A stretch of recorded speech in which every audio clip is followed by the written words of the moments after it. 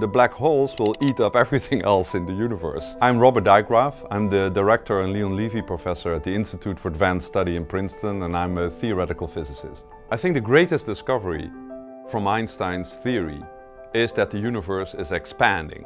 But we learned something even more dramatic in recent years. We learned that the universe is not only expanding, but there is like a force inside empty space that helps to push the universe apart. It actually is accelerating the expansion of the universe.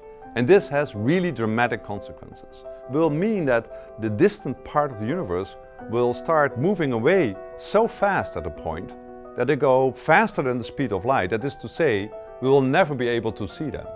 So what will happen to our part of the universe is that all the neighboring galaxies will slowly fade away. And we are left only with our galaxy and perhaps a few others. And that's it. We will be kind of living in an island universe.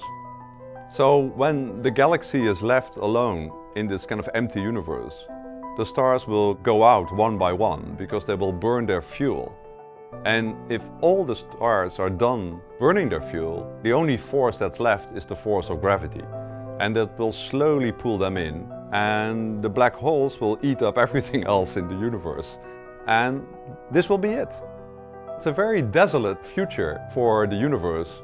And I think that's why many physicists were very hesitant to believe that this is actually the true future history of the universe. But it turns out that the experiments are all pointing in that direction.